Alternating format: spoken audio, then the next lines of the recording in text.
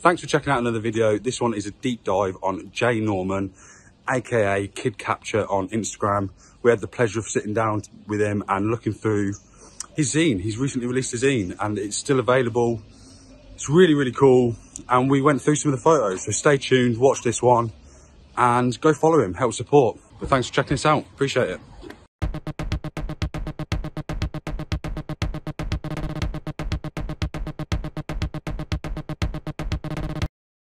We are here talking to Jay Norman um, about his photo book. Is it a book? Is it a zine? I'm going to say it's a book. Yeah, it's a book, Yeah. coffee table book, I suppose. It's- yeah, mate, Uh, it's not left my coffee table. it is so good, honestly. It's a really cool project. And yeah, we, we've got you on today to talk a little bit about what inspired you to do it, which might seem like a silly answer.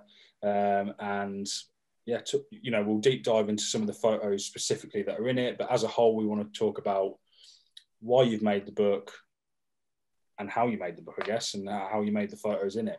Yeah. Um, but yeah, if you just want to quickly kind of introduce yourself, tell us a little bit about yourself, I guess, and then we, we will jump into it. Um, so I'm Jay Norman. I'm 27 years old. Nearly forgot my age there. um, yeah, live in central London. Have done for the last few years. Um, I go out and do street photography quite a bit. It's, it's something that I'm quite passionate about. Um, I wouldn't say it's quite a, a job yet. I'd, I'd Yeah. enjoy if it became a job, but it's more of sort of a hobby and uh, it's a bit of my sort of like meditation time. Go on a nice walk through London, taking photos. Yeah. Um, and then I fell on to creating Kenopsia, which was this coffee table book during lockdown, just because I had, I mean, I, I normally I run a pub, so I had an infinite amount of time on my hands, really, as all the whole pub industry shut down. So it gave me a real amount of time to be able to, well, try and document really what was going on. Try and Yeah. document London and the emptiness of, of during the lockdowns.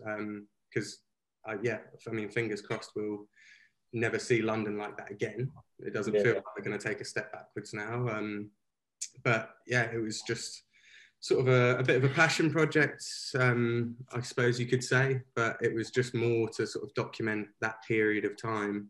And I feel that the coffee table book itself has become sort of more poignant looking back now because now everything is slowly going back to normal. You realise just how sort of empty and, and derelict central London is.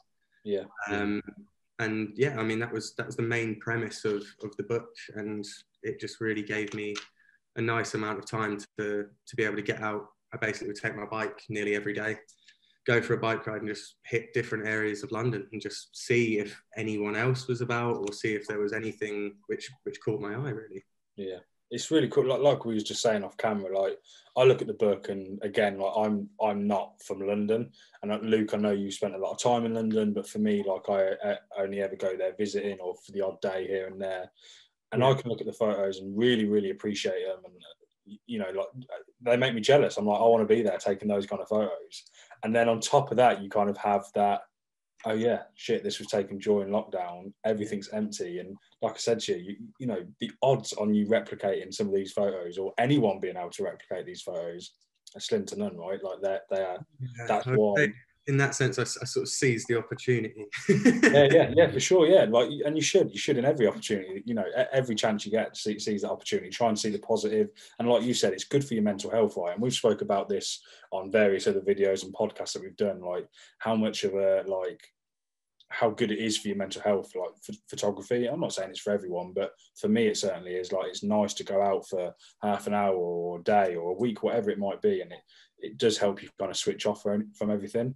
But it's really interesting, right? and I know, I know we've messed you around with trying to get this recorded because I know you were running a pub, and it feels like, oh, we should have done this before you were back in the pub. But um, yeah, it's cool that you've done that as, like, as a project. And the name itself, how do you pronounce it again?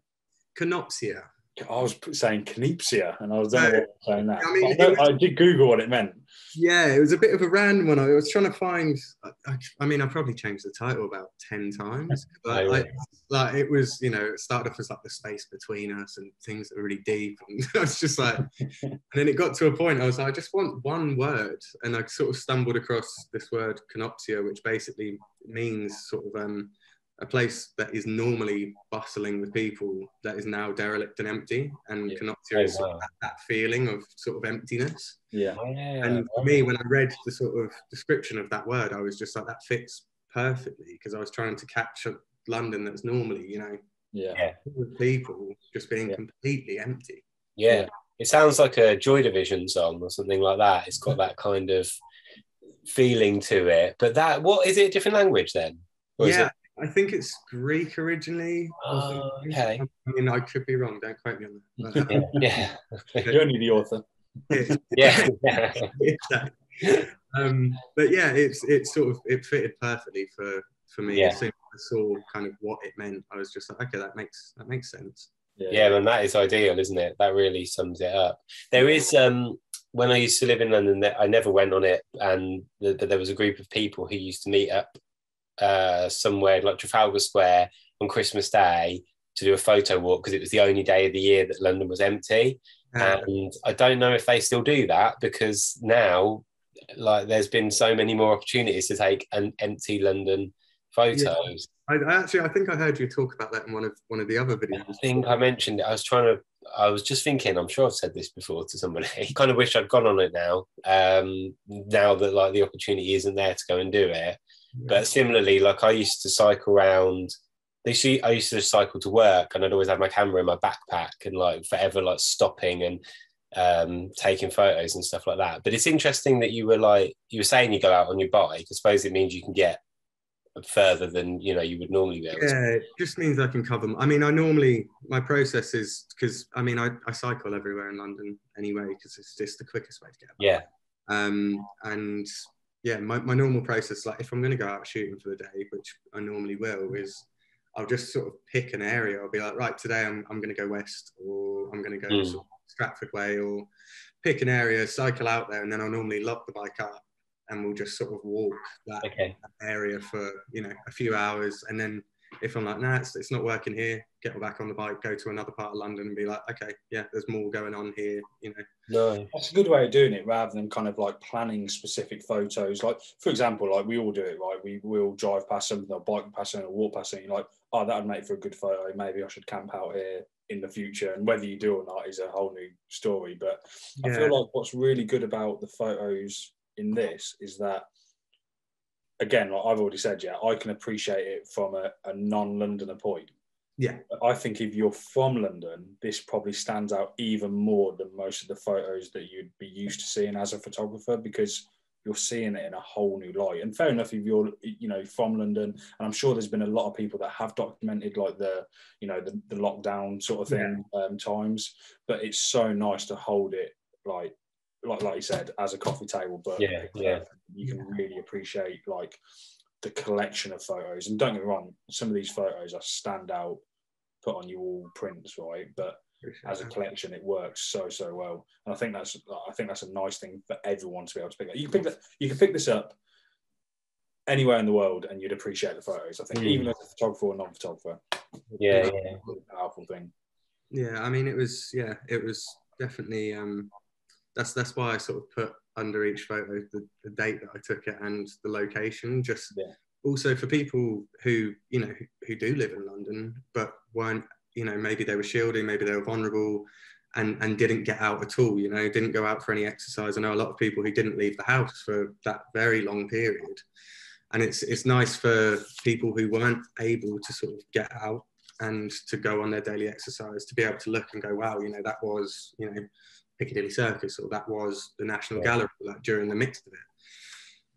So yeah, it was nice to be able to provide that sort of, you know, insight into what it actually looked like kind of out on the street. Yeah. How, how did it work with like? Because I know, like, you know, obviously London's a big place, right? But when you were in lockdown, wasn't there like a certain radius that you're like legally allowed to stick to? But I'm guessing if you're in London, it I mean, there, still a lot there- there- I think there was. I mean, it was a bit of a grey area. I mean, obviously, you, you had the whole Cummings thing, like don't go to whatever castle halfway across the Yeah. country. Yeah. Um, but it was, I think in London, it was, you know, I think if you were going for a walk, a jog, it was within a certain sort of radius. Yeah. Um, but I think with cycling, because obviously, you know, you- you're not stopping, you're not brushing past people. There, there wasn't even really any traffic. So as I say, I would sort of pick an area, and my exercise would be to get to that area. And once I got there, I mean, a lot of the time I didn't really even get off the bike. It was kind of, I would have the camera around my, neck, my neck and would just be like, okay, that's making a good shot, or notice Again. because there is so little people. As soon as you saw someone, you were like, okay, there's something working here. You know, I can do Yeah. something. Yeah. Um, cool. And a lot of the time, it was just sort of stood there with the bike between my legs, just sort of Yeah. Yeah. Stop, take the shot, and be like, right, on to the next bit. Yeah. Yeah. Yeah, we don't really normally like get into like chatting about gear very often on this, but like what were you using? Because you you know, something too heavy would be quite cumbersome on a So my, I mean, it's just here, but my go-to is my Fuji X100F. okay. Yeah, it's cool. That's, I mean, they say the best camera is, you know, the camera that you've got on you, and Sure. that's why I'm obsessed with my X100F because it it's the camera I take absolutely everywhere with me. Every Yeah, day, yeah, every day I've got it in sort of, you know, a little sling bag just on my side. yeah. Going to the supermarket, I literally every time I leave the house, pretty much, I've got it on me. Yeah. Just in case, because there's nothing worse than I'm sure you've had it when Yeah. you walk down the street and you're going, God, I really wish I had my camera for that. Like, Oh, mate, I had it the other day. I took my dog for a walk, and it was only round like near my house, and I saw this like, you know, I don't even know anything about cars, right? But this awesome classic car turned up, happened to park up in this like stone car park, hmm, nothing else around, and I was like, oh, this would be the perfect photo. And I didn't have a, ca- I had to take one on my phone, which you know, your phone's still a camera at the end. yeah, of which day. I mean nowadays, you know, yeah, yeah, yeah. phone I was are- gutted that I didn't have one of my other cameras, but Yeah, Yeah. it's, it's always when you're about to leave the house and you're like, uh, no, I, I won't. I yeah, won't. Yeah, not today. leave the second Yeah, yeah. leave, you're like, "Oh, I really Yeah, yeah. So was the, Uh, whole book, the whole book was taken using Fujifilm X100F. Yeah, the whole whole thing. Yeah, that's awesome. I, I mean, Yeah. I've got that camera. I know, I know how much I love that camera. Yeah. Mm. I, I, I, that, to be fair, I was going to ask that question as well, Luke. I didn't know if it was like, Well, yeah, I, I did feel like because I've got the what have I got the X Pro two, and I've I, I felt like I recognised the kind of look of those images using that like Acros simulation maybe, or I mean, the actual simulation is beautiful. wasn't it? yeah, yeah. We were going to sort of like dive into a couple of images specifically that we've picked out, but is there anything that's kind of have you got any favourites from the project? I mean, it's a, it's a hard one without a copy of it. in front of me. I Yeah, mean, generally they are all like, you know, mind blowing.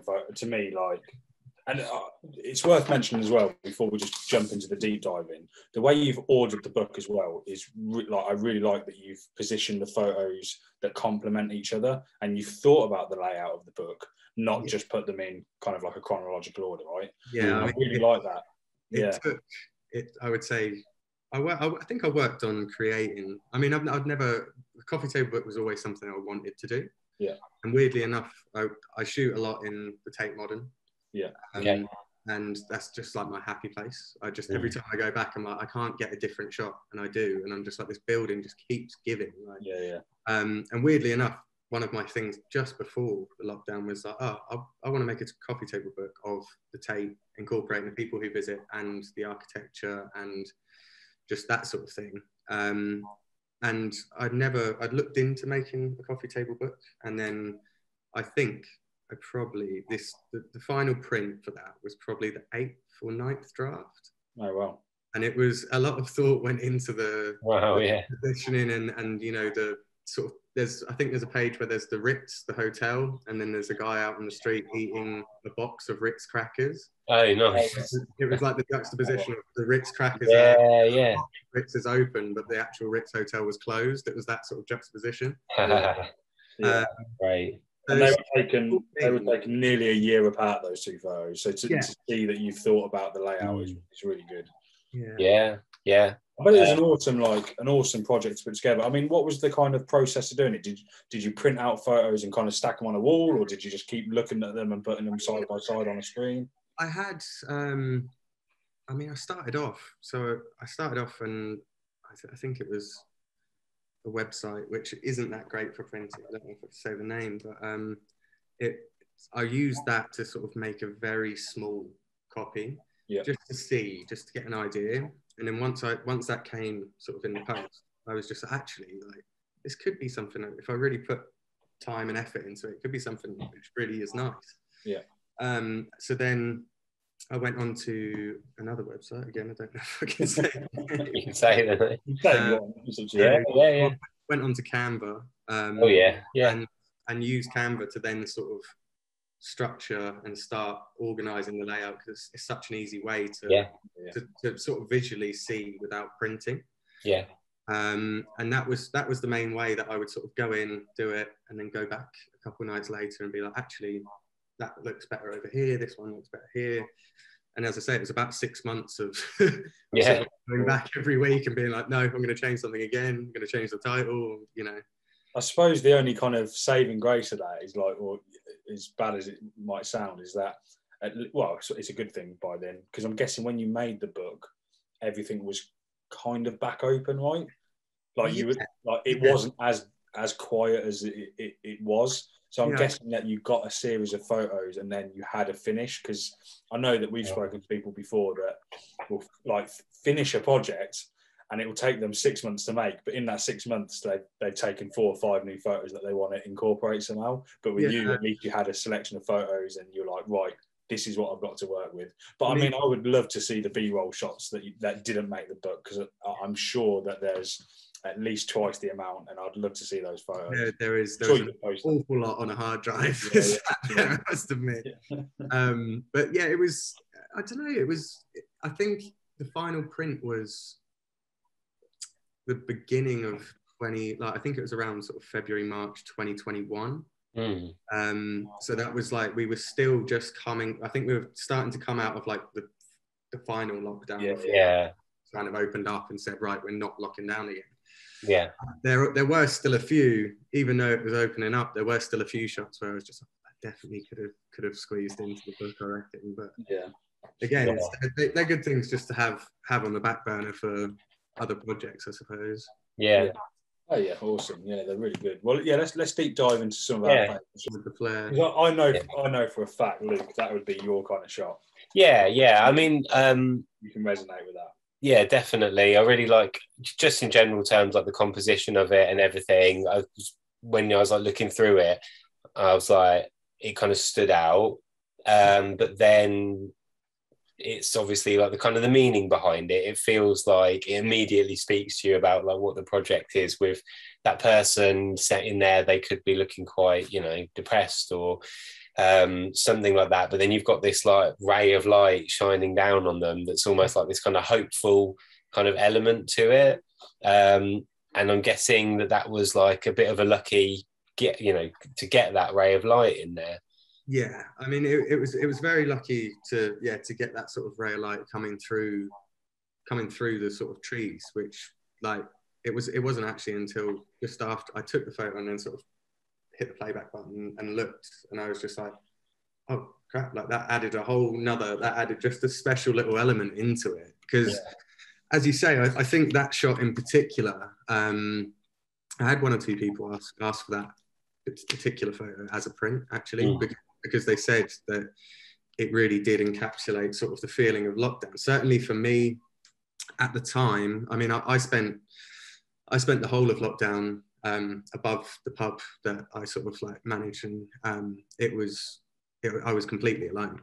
So it was quite hard really. I mean that's part of the reason why i got out so much was just because if i was to stay in you know for six however long it was seven eight months by Yeah. myself then I would have gone crazy. Um, and that really, to me, did sort of encapsulate the mood of of everyone, because there was this real at the very beginning there was a real sense of you know community, and everyone sort of came together. Everyone was helping each other, you know, where they could. And then the lockdown came round, and everyone sort of you know everyone hopped on a Zoom quiz and was doing, you know, watching Tiger King, and then after a while, it got to a bit of like, oh, like you know, this this is Yeah, the actually reality. a bit longer than I thought.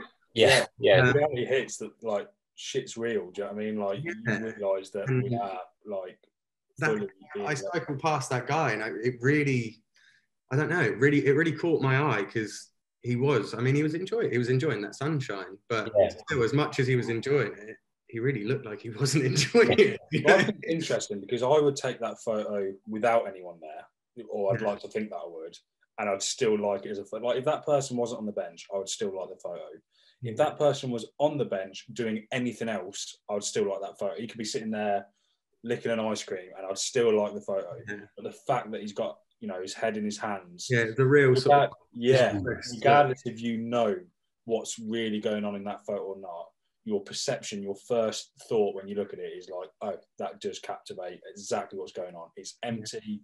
He's sitting there like, what, what the hell's going on? And even if that's true or not, in years to come, when you look back at a photo like that, you're going to go, yeah, that captures exactly what a lot of people were thinking. Do you know what I mean? Yeah. Trying to out, but still very alone. Do you know what I mean? yeah. Yeah, yeah it really um it was yeah it, it definitely for me once i got it back I, I knew instantly that that was definitely going in the book because it, it really was uh, you know it portrays that feeling of not hopelessness but i think that's the nice thing about the photo is it is almost you know he's got this sort of hopelessness look going on but then that beam of light that comes through the trees is almost the you know the ray of hope Yeah, coming through. It's like we're almost at, we were getting towards the end of it. So you've got that final push, like you know, there is light at the end of the tunnel, sort of. Thing. yeah, yeah. And this this was taken in Notting Hill, right? Yeah, yeah, Yeah, really nice photo. It, um, I, I did wonder. I was going to. We you mentioned it before we started recording that the the last photo was the only one that was kind of staged, although it wasn't particularly staged. Um, you know, yeah. It was a sense, it- sense of luck, but Yeah. still kind of stay, stay. yeah. But that one, because I, I, did wonder as I was looking through it, were any of these photos staged or or not? And that was the one that I did think it doesn't look like it is, but because of the positioning of you know the gen- the composition, the position of the light and everything, it felt so like I hate to say lucky because I don't think like when you know what you're looking for in a photograph, it's not it, it's kind of luck and it isn't. But Yeah, uh, The situation's lucky in terms of yeah, or you spot lucky you've situations. something that good. To yeah. shoot. I mean, with, Yeah. with the street photography itself, I feel there's always there's always um there's always an element of you have good, I find I have good days and bad days. You know, you go out and I'll, I'll know within the first five minutes whether it's a good day or bad day. Yeah. I'll, I'll go out and you know the first few shots and I'll just be like, it's something's not clicking today. Yeah. Whereas I, if have, I have a lot more of them than I do good days. but then when it's a good day, I'll go out and you know the first first two or three shots, I'll sit there and be like, like something's you know the, the levels are just right today. Something's Yeah. working. And with that that final photo, um, that was outside Tate Tate Britain, Mm. um, and it, it was definitely a massive element of luck. But that is that is the only sort of semi-staged photo of of the book. I mean, personally, with my sort of street photography that I do, none of none of my work's ever sort of staged. I like to capture Yeah. just life as it's going on, um, sort of just off the cuff to you know capture the beauty in everyday life that people just don't pay attention to. yeah, yeah. yeah, Um, but with that one, it was definitely luck because like, I remember, I remember it so very clearly. I was sort of cycling past Tate Britain along the Thames, and um, I sort of looked over and noticed an ambulance was parked up perfectly in the middle. And I think you know they had a second, or they were on their lunch break, or whatever it was. But the the female um, medic was, you know, she sat there, and it was quite clear that she was like, "Can you take a photo of me?" And the male medic was sort of Oh, nice. photos on her phone. And I sort of, I remember I saw it and I was just like, this isn't going to happen again. Just like slammed on my brakes and sort of ran back. And I just said to them, I was like, guys, would you mind standing either side, you know, of, of the ambulance? Yeah.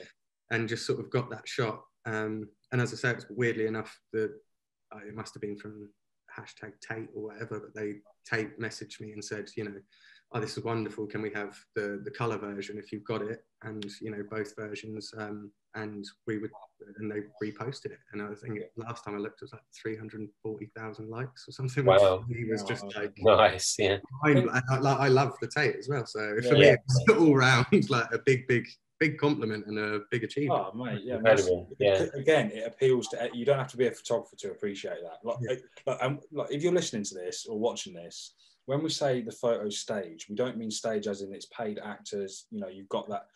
That's where the, the kind of look element comes in. That you've stumbled across this scene. But the Mm. skill element is not just taking the photo; it's having the balls to go up and you know take the photo in the first place, then take a good photo, and to look back at it and go, yeah, you know, actually position it out. Uh, you know, what's it called? Um, frame the actual shot itself and Yeah. take it. It's not just getting lucky and cycling past and taking a photo. There's you know there's time and thought that have gone into it. You've just got lucky in terms of Yeah, I mean, I, Angles, I yeah. the opportunity. I thought Yeah, yeah. myself, I was like, this, this isn't going to happen again. Yeah. Like, if, I- if I didn't go back, I would have literally just kicked myself. Oh yeah, yeah. Yeah, I think I think it's a great end to the book as well. Without spoiler, um, but yeah, it's, it's an unbelievable ending to the book. So I think it was the first photo that I actually showed my missus, who's not into photography at all. Like she can appreciate it, but you know she's not a photographer herself. And I picked up the book and I was like, look at that, because I knew it'd impress her. And then she, you know, sat there and read through the book then, or looked through the book. But I just think it's a great, it's a great photo to end the book with, and it's a really nice nod to the NHS frontline workers. Yeah, it was The sort of oh, yeah. Tip of my hat at the people who really did, you know, they, Yeah. who just put in an unbelievable amount of effort. Yeah. And Yeah. just, yeah, never say thank you enough to, you know, everyone out there who did work the whole way through it. It was crazy. yeah, It yeah. might be the last photo in the book, but it is not the last photo I want to talk about. I want to talk about nice. That was really nice. That was good, weren't it? I didn't even plan that either. I, because I, I, I was gonna say, oh, this sounds. I should have just played it cool. I was gonna say we should give an honourable mention to the last photo, but you brought it up already, Luke. But I Mm. want to talk about the National Gallery photo. I think that is amazing. Yeah, there's, I've got loads of questions about it, but like I said off camera, to me, like I'm a skateboarder, right? So my I- I've grew up watching skate videos, reading skateboard magazines, looking at all these photos. I, I could tell you a list of photog- like skateboard photographers that inspire me. And then at the same time, like I said, I look at people that do a lot of street photography and they happen to stumble across skateboarders or skateboard parks or whatever it might be, and they take really good photos. But I don't know if it's just like the stubbornness in me. They're not skateboard photos to me. That might sound a bit silly I know exactly hard to understand, but they're not, you know, you're not there with the skateboarder, you're not like in that moment with them, you're not in that session, you're just taking a photo, if that makes sense. And I'm not saying they're bad photos, they're just two different things. Yeah. But to me, that that like I said, that needs to be on the front of a magazine or in a two-page spread. I think the photo itself is amazing. And again, this might be one of those ones where it's certainly not staged, and you know, you I'm sure you'll appreciate that you might have gotten lucky in terms of the scene that you you've got. But that to me is just I don't know, it resonates with me. I'm just 100% jealous of that photo. Like, I wish I would be able to take a photo that good or come across that kind of scene. But yeah, I don't know what your thoughts are on it.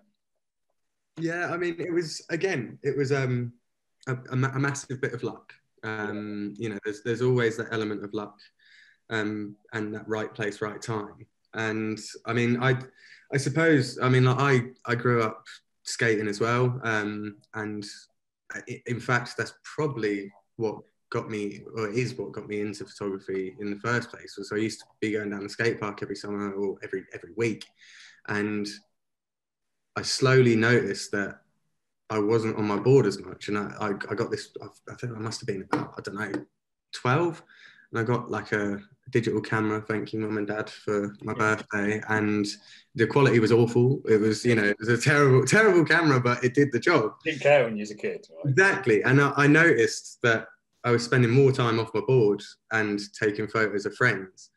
Um, so I mean, it always does catch my eye when I see people skating, but it was again this.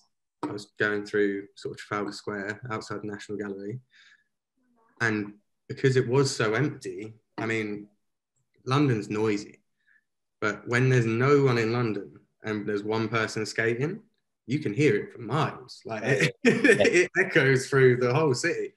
So I sort of was stood down by Trafalgar Square, and then I kept hearing someone, and I was like, "So someone's skating." And it was just one, yeah, one dude just by himself, and he was just he was trying to get it down every time. He was just like wall ride, like trying to wall ride outside the Oh, you didn't go and talk to him? Nah, nah, nah. Oh, I, I, oh, mate, that impresses me even more. I genuinely ah. thought that you might have seen someone skating, and again, you've had the courage or made your own look, should I say, and gone up to him and said, "Do you mind if I take a photo?" But to know that that is like a candid Yeah. photo is It was candid. He just he, he did it sort of two or three times and was by himself. And I think it, I think that was you know he sort of went came back, did it, and I think it was three times, and that was the second. I took three photos, and that was the second one, and I settled on that just because I managed to time it. Per, like he is perfectly in the middle of that, those pillars, like he is perfectly in the center of the building. Yeah. Um, I mean, shout out to the dude, whoever it is. Yeah, exactly. Like, you know, it's not that's not an easy trick to do. Yeah, um, like you know, a wall ride on its own. I don't know. For me, it's certainly you know not something I've ever achieved. But um, yeah, it's it's so sick. I absolutely love it. Appreciate it a lot. Yeah, but it was it was just yeah he he kind of he was doing his thing and I was just sort of, I mean he noticed me there and I think I think he was just like all right yeah because weirdly enough he had two or three more attempts and then and then he was like oh I'm done and went and like he got his stuff and started going off. So I was just like, I wonder if he squeezed in those last few attempts because he know like he clocked me there with the camera. Yeah. And whoever you are if he ends up watching this at any point. Thank you so much that, yeah, yeah. like I got home and I was I was looking at it and I was just like, was like yes. I was like that is hundred percent one for the book you know? Yeah, yeah. yeah yeah it's that lovely feeling when you've taken a shot and when you look at it it almost like takes your breath away a little bit. You're just yeah, like you get like that oh, little oh. kid kind of like jumping Yeah, up and down yeah. sort of buzz. Yeah. Again, take take the person, take you know, take that subject out of that photo to get a photo of the gallery like that with no one in. yeah yeah It's hard enough, right? Like, yeah, I, I I don't think you could ever do that now, no matter what time of day you yeah. I mean London's popping now is Yeah. busy you might be able to take that at 5 a.m. if you're lucky, if you're really lucky. But still, to take it in the day like that, it's really nice. And then I kind of wanted to ask you as well, but this this might be a bit more of a general question. But obviously, the whole book is black and white, right? Yeah. Did you go into it with that mentality, or did you happen to take photos in color and black and white, and then decide to make them black and white, or was it always like, you know, lockdown's a bit gloomy. I'm gonna I'm gonna shoot black and white, really show off the kind of city in, in that kind of mood, or do you just straight up only take black and white photos? Yeah, I mean that was um I definitely definitely sway more towards black and white. Yeah. Always have done it. Like for me there's something especially with Fuji and, and the Acros filters, like they're they're so beautifully rich in contrast. And the images they produce just like they're stunning. I can't I can't get over it. Um like it's by far my favorite camera. I'm trying to save up to get the next one up now, which is X100V, I think. yeah yeah Um, I, I nearly did that, but I, I still think there's pros and cons. Yeah, I mean, I, I might wait until the next one just Yeah, because yeah. at the moment there's not so much difference that it's Yeah. going to sway me to pay that much more. yeah. yeah Um, but I, yeah, I mean, I, I definitely do shoot more black and white. I, I think it is a tendency of mine, always has been with street photography. Um, but of recent, and I mean, I do, I do have days where I go out and I'm like, no, I'm like forcing myself to shoot in color today, just because if you if you get set in the same ways of constantly doing the same thing, then not that you'll always get the same results, but I like to I like to set myself sort of weird little challenges um, if I'm going out shooting. Hence why like, I think you guys commented a bit about like the double exposures I've done on Instagram and stuff, like Yeah. with the colours and overlapping people in the underground and stuff like that. Again, that was just all like I was like, okay, today I'm going to go out and focus on double exposures, which again, the, it, like the built-in double exposure setting Yeah. makes it so so nice and so so much fun to play with. You know. It's also a cool Um, way of like learning, right? Because you're setting yourself these these tasks, these goals, if you like, to become a better photographer. But at the same time, just because you're doing that and you're practicing a certain art form, doesn't mean that you won't get a banger from time to time. Do you know what I mean? Yeah, yeah, You could be a complete novice and still take a fucking fantastic photo. Do you know what I mean? I exactly. mean, and it's not, if you're not out there shooting, no matter what you're trying to shoot, if you're not out there shooting, you're you're not gonna, you know, you're not gonna progress. Mm. I mean, for the for the book itself, um, black and white just seemed to it seemed to make sense. Um, just because like the, the images themselves, as I say, a, a few of the ones that I got, just I was I was there 100 percent for the book, and then most of them were in black and white, and I was just I, did, I didn't want to do sort of some black and white, some color popping up. I wanted to keep a consistent theme, and I thought as well, you know, with the whole thing, it's it was trying to be sort of that impactfulness. Hence why I, I changed the title and I, I wanted it just one word, just one punchy, you know, just singular thing. Mm. Um, and I feel that sort of the black and white throughout pulled it all together and, and made it sort of a feeling throughout the whole book. Um, so yeah, I, I, settled on it, but I don't don't shoot specifically just black and white. I do do like to shoot color every now and then, but it just sort of set the tone and the mood of of the book for me. Yeah. I think it, it, fit quite well, so I decided to stick with it. Yeah, sure. Yeah, good. I think that's quite a nice like way of looking at any kind of project. You know, you, again going back to the way that you've really thought about again like you didn't kind of think that you you know you didn't take these photos going oh i'm going to make a book. But yeah. the fact that you've you've got this collection of images and then you've decided to make a book from it and you know show that journey again i just really like the layout of the book. I think it complements all the photos and i can see myself picking it up. Uh, it'll probably mean even more picking it up in a few years time. You know hopefully we'll be looking back sooner rather than later and going do you remember when that covid thing was around yeah, yeah so it will become even more important as, as, like a you know a showcase of a time that we went through this right yeah about history i suppose hopefully looking back it will be yeah. you know it will be in the history books yeah yeah, yeah. Sure, yeah. But yeah if you do want one of these books drop Jay a message. Your Instagram name is kid capture or kid underscore capture. There will be a link down below. Uh, is that the best place to kind of get hold of you if you want to pick up a copy? Yeah, yeah. There's a there's a link in in my bio, um, which leads to sort of a web shop. Um, yeah, yeah, yeah. And uh, there isn't going to be many left because I know you've given us copy number 32 of 50. Yeah.